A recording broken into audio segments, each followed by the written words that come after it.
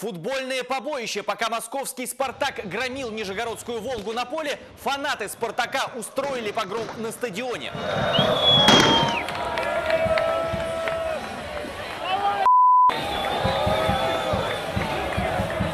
Душку, видишь, он красного, который валяется, выкинули, вырвали.